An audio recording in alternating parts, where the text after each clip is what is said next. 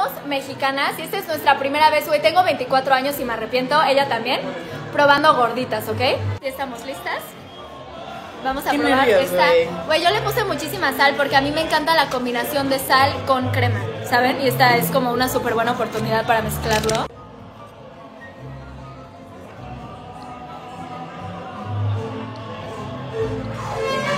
Delicioso. Las gorditas son buenísimas y por eso estamos gorditas. Porque Y sí. son las gorditas buenísimas. Y claro que vale la pena. Obvio. A ver, ¿qué llevan las gorditas? Para los que no las saben hacer, que las sepan hacer en su casa. Ah, pues masa con un poquito de manteca, sal y chicharrón y ya el ingrediente que ustedes quieran crema, poner. Crema, salsa, queso, sal y salsa. queso. Justo. Sí.